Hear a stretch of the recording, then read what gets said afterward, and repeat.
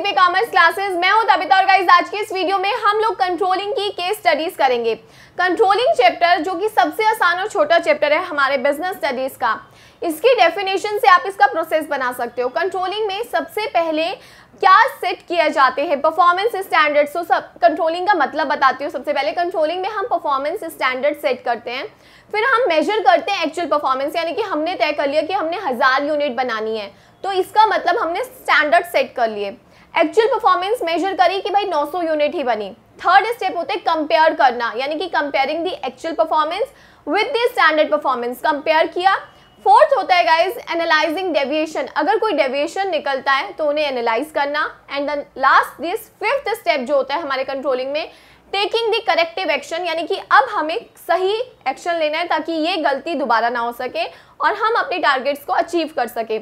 इसको कंट्रोलिंग कहते हैं। सो कंट्रोलिंग बेसिकली आपके मैनेजमेंट में पांचवा फ़ंक्शन है। प्लानिंग कर ली ऑर्गेनाइज हो गया काम स्टाफिंग भी हो गया डायरेक्ट भी कर लिया। लेकिन अब आता है कंट्रोलिंग जब हम सारी एक्टिविटीज़ को कंसिडर करके चलते हैं कि काम उद्देश्य के मुताबिक हो रहा है गोल के मुताबिक या नहीं हो रहा। दैट इज़ कंट्रोलिंग ठीक है? सो so, कंट्रोलिंग के पाँच यही इसके क्या होते हैं? स्टेप्स होते हैं जिसमें setting performance standard measuring actual comparing the actual with the standard के साथ compare analysing deviation and the fifth one is the taking corrective action controlling की अगर फीचर की बात करें तो कितने फीचर्स है गाइस सिर्फ़ चार फीचर्स है। Controlling is a continuous controlling is a goal oriented controlling is a pervasive हर जगह।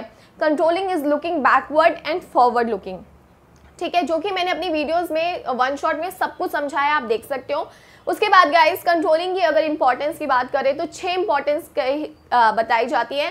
फेम जी के नाम से मैंने आपको याद करा है। F A M E J I F से बोले तो फैसिलेटिंग कोऑर्डिनेशन इन एक्शन ए से बोले तो अकम्पलिशिंग ऑर्गेनाइजेशनल गोल एम से बोले तो making efficient use of resources and उसके बाद आता है E ensuring order and discipline J से बोले तो judging accuracy of standards and I से बोले तो इम्प्रूविंग एम्प्लॉयज़ मोरल या मोटिवेशन तो आप इसकी छह डेफिनेशन गाइस जो कि मैंने वीडियो में बहुत अच्छी तरीके से एक्सप्लेन करी आप वहाँ से देख सकते हो। यहाँ मैं बस एक रिकॉल करा रही हूँ, ताकि हम लोग जब केस स्टडी करें तो अटके ना। अब हम स्टार्ट करते हैं गाइस अपनी पहली केस स्टडी देखो केस स्टडी के लिए आपको चैप्टर आना बहुत ज़रूरी है लर्निंग होनी बहुत ज़रूरी है अंडरस्टैंडिंग भी। तो अंडरस्टैंड मैंने आपको करा दिया है लर्न आपको करना है। पहली केस स्टडी है जिसमें हमें आइडेंटिफाई एंड एक्सप्लेन करना है the function of management mention in the above case तो अभी आपको पता है कि हम कंट्रोलिंग चैप्टर कर रहे तो कंट्रोलिंग आंसर होगा बट कैसे? वही चीज़ यहाँ पर आपको सीखनी है। देखो एकता मोटर है had set an objective of selling 1200 car per year Ekta motor कहते हैं कि भाई हमने तो 1200 कार हर साल सेल करनी है। Mrs Ekta Chawla is the managing director of this organisation. Ekta Chawla कौन है गाइस मैनेजिंग डायरेक्टर है इस ऑर्गेनाइजेशन की। With the view to achieving this objective और इस ऑब्जेक्टिव को अचीव करने के लिए she worked hard to formulate plan और उसने काफ़ी सारा मेहनत करी और प्लान्स बनाए। But at the end of the year it came to light that hardly 870 cars could be sold सिर्फ़ 870 कार बिकी 1200 में से। She compared expected and actual result and begin to seek the course causes of deviation उसने comparison किया और find out किया कि भैया ऐसी कमी आखिर क्यों आई? She arrive at the conclusion क्या कंक्लूजन निकाला उसने? That the goodwill of the organisation had suffered because of the negligence of the service division, यानी कि उनका सर्विस डिवीज़न सही से काम नहीं कर रहा, जिसकी वजह से मार्केट में उनकी वैल्यू खराब हो गई है और इस वजह से उनकी सेल नहीं हो रही है। She then to a firm decision to improve the performance level of the service division at all cost वो अब चाहती है कि हमारे बिज़नेस का सर्विस डिवीज़न बिल्कुल ठीक हो जाए। तो देखो, अभी तो आपको पता है कंट्रोलिंग है बट कैसे? देखो प्लानिंग ये बिल्कुल नहीं है। यहाँ पर वो एक्चुअल में कंपेरिजन कर रही है, जो कि कंट्रोलिंग का मेन मुद्दा होता है कंपेरिजन करना। गलती पता लगाना और उसको ठीक करना। तो वही सारे काम यहाँ हो रहे हैं, इसलिए ये कंट्रोलिंग है। तो ना ही ये प्लानिंग है, ना ही ऑर्गेनाइजिंग है, ना ही स्टाफिंग है, ना ही डायरेक्टिंग है। क्या है ये? Controlling second guys case study है हमारी। Study the above mention case and identify which function of management has been neglected कौन सा मैनेजमेंट का फ़ंक्शन यहाँ पर नेग्लेक्ट किया जा रहा है? Planning organising staffing directing controlling में से कौन सा? क्योंकि पेपर में आपको चैप्टर वाइज केस स्टडी नहीं आएगी, वहाँ मिक्स आएगी। तो देखो, कौन है यहाँ पे?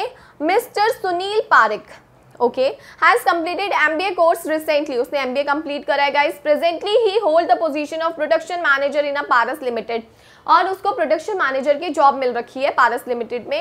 He has plan to accomplish successfully all the function of his department वो चाहता है कि उसके डिपार्टमेंट के सारे फ़ंक्शंस अच्छी तरीके से कंप्लीट हो, काम big task were divided into small activities बड़े बड़े कामों को छोटे छोटे भागों में डिवाइड करा उसने।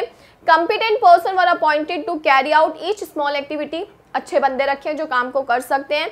Mr Pareek also guided his subordinate from time to time अपने सबॉर्डिनेट्स को वो गाइड भी करके चलते हैं कि भाई कैसे काम होता है।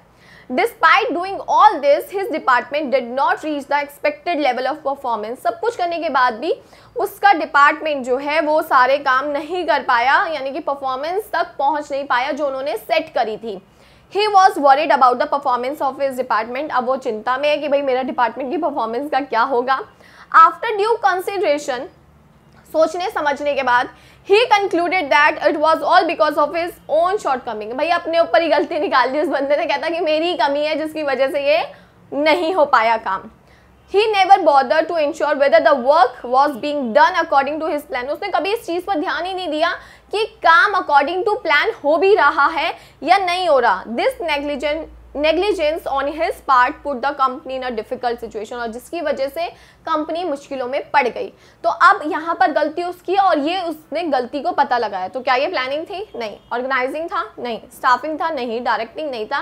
कंट्रोलिंग था? क्योंकि गलती को पता लगाना और उन गलतियों को सही करना हम कंट्रोलिंग में सीखते हैं। उसके बाद इसका जो बी पार्ट है guys state any two feature of the function of management तो अगर आपने कंट्रोलिंग लिखा है तो कंट्रोलिंग के आपको मैंने बताई दिए चार फीचर होते हैं pervasive continuous goal oriented looking back and forward looking third case studies में हमें क्या बताना है? Which step of controlling process has been shown in the above paragraph यानी कि जो ये पैराग्राफ है, इसमें कंट्रोलिंग का कौन सा स्टेप शो रहा है? कंट्रोलिंग के प्रोसेस का। Okay Madhav limited Madhav limited manufactures steel utensils भाई, वो स्टील के बर्तन बनाते हैं गाइस उसके बाद Mr Rajesh Khanna is its production manager Mr Rajesh Khanna कौन है? प्रोडक्शन मैनेजर है।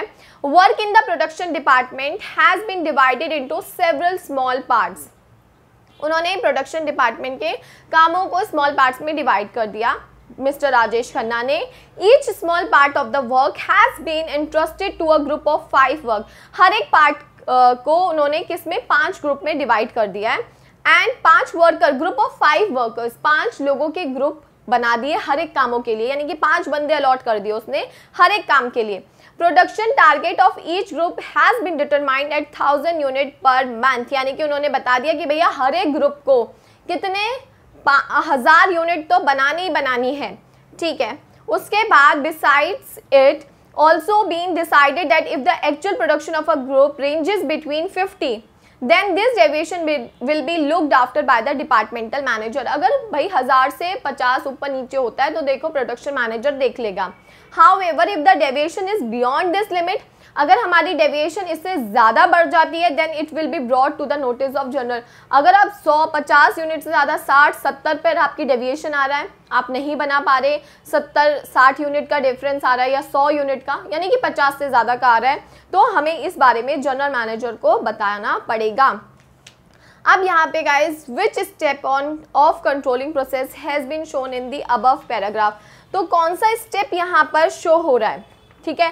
तो गाइज़ देखो, कौन सा स्टेप शो रहा है जिसमें हम लोग पहली बात, देखो, हमारे कंट्रोलिंग में यहाँ पर उसने कहीं पर भी अभी कंपैरिजन नहीं किया, कहीं पर भी उसने अभी तक एक्चुअल परफॉर्मेंस कैलकुलेट नहीं करी। यहाँ पे वो परफॉर्मेंस को सेट कर रहा है, यानी कि सेटिंग परफॉर्मेंस स्टैंडर्ड तो फ़र्स्ट कंट्रोलिंग का जो स्टेप है, वो यहाँ पर डिस्कस किया जा रहा है, क्योंकि एक्चुअल परफॉर्मेंस भी अभी मेजर नहीं हुई है, ये अभी अपने परफॉर्मेंस स्टैंडर्ड सेट कर रहे हैं। और बोल रहे हैं कि अगर ऐसा होगा तो हम ये करेंगे, अगर ऐसा होगा तो हम ये करेंगे। तो फ़र्स्ट स्टेप है। उसके बाद बी इसका जो है also state on which particular concept of controlling the attention has been focused explain it उसके बाद ये किसके बारे में गाइस बात कर रहे हैं? कि भाई, आपके कंट्रोलिंग एनालाइजिंग डेविएशन के बारे में बात कर रहे हैं, जिसमें डेविएशन में हम बात करते हैं गाइस कि अगर इतना डिफरेंस आएगा तो ठीक है, यानी कि मैनेजमेंट बाय एक्सेप्शन कि इतना डिफरेंस रहा तो ठीक है, अगर इससे बियॉन्ड रहेगा तो हमें नोटिस में लाना पड़ेगा। तो उस बारे में बात कर रहे हैं ये लोग, यानी कि एनालाइजिंग डेविएशन ठीक है? उसके बाद गाइस फोर्थ केस स्टडी जो कि बड़ी छोटी सी है, Mahima Jain is the senior manager in the advisory service department of courts limited Mahima Jain कौन है गाइस सीनियर मैनेजर है। कहाँ पर? एडवाइजरी सर्विस डिपार्टमेंट में, ठीक है? She regularly prepare performance report of her subordinate as a part of the appraisal वो हमेशा परफॉर्मेंस रिपोर्ट तैयार करती है किसकी? अपने सबॉर्डिनेट्स की कि भाई उन्होंने काम ढंग से किया या नहीं किया। ठीक है?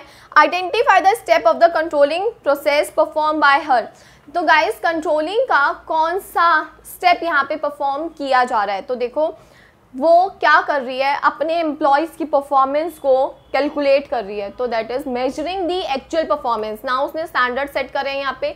यहाँ पर वो कैलकुलेट कर रही है। She regularly prepare performance report तो परफॉर्मेंस रिपोर्ट हम किसमें बनाते हैं?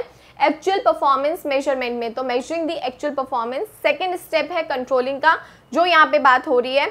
Also explain briefly two more step of the controlling to be completed just after तो एक्चुअल परफॉर्मेंस के बाद हम क्या करते हैं? कंपेयर करते हैं देन एनालाइजिंग दी डेविएशन तो वो दो हमें यहाँ पे बताने हैं और एक्सप्लेन करने हैं। उसके बाद गाइज़ हमारी जो फिफ्थ केस स्टडी है, जिसमें हमें identify the function of management referred in the aforesaid paragraph ठीक है? तो यहाँ पर भी फ़ंक्शन बताना है हम लोगों को। कैसे पता चलेगा? ये कंट्रोलिंग की ही बात कर रहे हैं। तो देखो Michael John is a sole proprietor in a Nicobar Michael John कौन है? एक सोल प्रोप्राइटर है। निकोबार उसी का है मतलब सोल प्रोप्राइटर अकेला चला रहा है वो, ठीक है। He has started trade after getting M degree भैया एमबीए करने के बाद उसने काम स्टार्ट कर दिया। He is fully familiar with all the function of management सब कुछ पता है उस बंदे को। He start his business with the planning function of the management planning से उसने स्टार्ट किया। He desire that all his activity should confirm to planning यानी कि प्लानिंग के हिसाब से सारे काम होने चाहिए। To this effect, he has adopted a system that keeps a constant watch on all activity of a business कि सब चीज़ों पर नज़र रखते हुए चलना है Consequently, there is a zero possibility of adverse result. अगर हम सब चीज़ों पर ध्यान रख के चलेंगे तो हमारा जो adverse यानी कि negative situation है कमी नहीं आएगी बिल्कुल भी It can therefore आगे के लिखा it can therefore be said that this method is directly related to the result यानी कि इस मेथड से हम अपने रिज़ल्ट तक डायरेक्टली पहुँच पाते हैं। यानी कि जहाँ हम पहुँचना चाहते हैं, वहाँ तक हम पहुँच पाते हैं। Mr John also believes that this method apply not only to any one level of management, but to all the level as well. मतलब हम किसी भी, ये नहीं कि सिर्फ़ मिडल लेवल या टॉप लेवल पर या लोअर सब जगह पर हम इसे अप्लाई कर सकते हैं। तो कौन से फ़ंक्शन की यहाँ पर बात हो रही है? तो गाइज़ देखो 90 परसेंट नहीं 90 परसेंट थोड़ा ज़्यादा हो गया। 80 परसेंट स्टूडेंट इसमें प्लानिंग लिखाते हैं, गलती कर देते हैं। लेकिन जिन स्टूडेंट्स के कंसेप्ट क्लियर है, वो यहाँ पर कंट्रोलिंग लिख के आएँगे क्योंकि इधर ना केस स्टडी में प्लानिंग वर्ड आ रखा है। तो मेरे खुद के स्टूडेंट कई बार प्लानिंग बोल देते हैं। बट ऐसा नहीं है गाइज़ देखो प्लानिंग की बात इसने करी है बट ये प्लानिंग के बाद की जो इसने बात कही है कि भाई मैं उन चीज़ों पर नज़र रख के चलता हूँ, मैं अपने गोल को अचीव करता हूँ तो ये काम कंट्रोलिंग में होता है। तो यहाँ पर बात हो रही है कंट्रोलिंग की। इसके बाद guys to describe the above to mention two feature of the function of management यानी कि हमें दो फीचर्स बताने मैनेजमेंट के जो यहाँ पर बात करी जा रही है। तो देखो, सबसे पहले तो गोल ओरिएंटेड की बात करी जा रही है। ठीक है, कि गोल को अचीवमेंट की। सेकेंड इज़ दी हर जगह के लिए हम क्या वर्ड यूज़ करते हैं? Controlling is a pervasive function हर जगह यूज़ किया जाता है। ठीक है? ये केस स्टडी हुई। आई होप आप लोगों को समझ आ रही होगी। अगर कोई डाउट हो गाइज़ इंस्टाग्राम पर मैसेज करके पूछ सकते हो केस स्टडी की फ़ोटो शेयर कर सकते हो। ठीक है, इसके बाद है गाइज़ आपकी क्वेश्चन नंबर सिक्स की case study identify the above set function of the management यहाँ पर भी हमें फ़ंक्शन बताना है और अब हमें कैसे बताना है कि ये कंट्रोलिंग ही है? Prakash limited is a company manufacturing electrical goods ठीक है। उसके बाद श्रीमती रेनू बाल रेनू बाला जिंगन ठीक है, थोड़ा नाम अजीब सा है इज़ इट्स मैनेजिंग डायरेक्टर कौन है मैनेजिंग डायरेक्टर रेनू बाला जिंगन तो हम लोग रेनू बाला ही बोलेंगे। By virtue of her wise direction मतलब उसकी डायरेक्शन काफ़ी अच्छी थी। Company has achieved a great height company को अच्छी पोजीशन मिल गई। अब management institute one day invited her for a lecture management institute ने उसको बुलाया कि भैया, आओ लेक्चर दो। Dear she got an opportunity to dialogue with the student of management study वहाँ पे इसने मैनेजमेंट की पढ़ाई कर रहे बच्चों के साथ कन्वर्सेशन करी। She narrated to them the story of her success उसने बताया, मैं कैसे सक्सेसफुल बनी? आगे she told them two main thing उसने दो चीज़ें और बताई गाइस क्या? First, the employee should know that their work is being evaluated and progress report prepared. कि भैया उसका काम जो है इवेल्युएट हो रहा है। उसने ये बोला मैनेजमेंट को कि भाई एम्प्लॉयज़ के कामों को हमेशा हमेशा इवेल्युएट करना चाहिए और उनकी प्रोग्रेस रिपोर्ट बनानी चाहिए। Second optimum use of human and physical resource should made possible यानी कि हमारे पास जितने रिसोर्सेज है चाहे वो फ़िज़िकल हैं यानी कि मशीन्स वगैरह में हैं, या फिर अगर ह्यूमन के तौर पर है तो हमें उन्हें प्रॉपर यूटिलाइज करना है। ये नहीं कि किसी से आधा काम कराया और चल दिया है। मशीन से प्रोडक्शन नहीं करा रहे ढंग से। वो चीज़ नहीं होनी चाहिए। तो यहाँ पर देखो, किस फ़ंक्शन की बात हो रही है? इस प्लानिंग है? नहीं। ऑर्गेनाइजिंग नहीं। स्टाफिंग डायरेक्टिंग नहीं। कंट्रोलिंग है। क्योंकि यहाँ पे बात ही कंट्रोलिंग के प्रोसेस और उसके फीचर्स की हो रही है। उसके बाद ये कहते हैं कि on the basis of aforesaid paragraph two points regarding the importance of the function of management देखो मैंने इंपॉर्टेंस मैनेजमेंट की कंट्रोलिंग uh, की आपको बताई फेम जी। फेम जी में से यहाँ पे आपको दो बातें जो उसने लास्ट में बोली है पहली बात उसने बोली the employee should know that their work is being evaluated तो इसमें guys improving motivation of employees यानी कि इम्प्रूविंग एम्प्लॉयज़ मोराल या इम्प्रूविंग मोटिवेशन ऑफ़ एम्प्लॉयज़ इसमें हम क्या करते हैं कि हम अपने एम्प्लॉयज़ की परफॉर्मेंस के स्टैंडर्ड जो सेट होते हैं, उसको उनकी एक्चुअल परफॉर्मेंस से कंपेयर करते हैं। तो वो लोग मोटिवेट रहते हैं कि हमें अपने टारगेट्स को अचीव करना है। ठीक है तो इसलिए हमारे जो एम्प्लॉयज़ हैं वो मोटिवेट रहते हैं, क्योंकि उन्हें पता है कि उनके पास क्या टारगेट्स हैं। तो टारगेट अचीव करने के लिए वो अपना पूरा ज़ोर ज़ोर लगा देते हैं। तो हमारे एम्प्लॉयज़ मोटिवेटेड रहते हैं। पहली बात ये कह रही है कि ऐसा करने से second ensuring optimum utilization of resources तो यानी कि हमारे जो रिसोर्सेज है, वो प्रॉपर तरीके से रिसोर्सेज यूज़ हो सके। यानी कि प्रॉपर तरीके से यूटिलाइजेशन तो making efficient use of resources word है।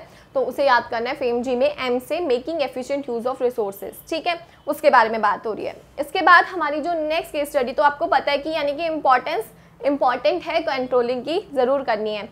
सेवन केस स्टडी जो है ना गाइज़ इसमें हमें बताना है the above para discuss some of the step in the process of one of the function of management okay management का कोई एक फ़ंक्शन है, उसके प्रोसेस का कोई स्टेप यहाँ पे बात हो रही है। तो अब देखो, अभी तो आप गेस कर सकते हो, लेकिन जब मिक्स केस स्टडी आती है एग्ज़ाम की, जिसमें आपके सामने स्टाफिंग का प्रोसेस भी होता है सिलेक्शन का भी होता है, आपके सामने प्लानिंग का भी होता है ऑर्गेनाइजिंग का भी होता है तब हमें ये चीज़ बड़ा कन्फ्यूज़न में डाल देती है। तो आपको चैप्टर वाइज पता होना चाहिए कि ये कंट्रोलिंग ही झलक रहा है इसमें। इसमें स्टाफिंग झलक रहा है, इसमें सिलेक्शन झलक रहा है।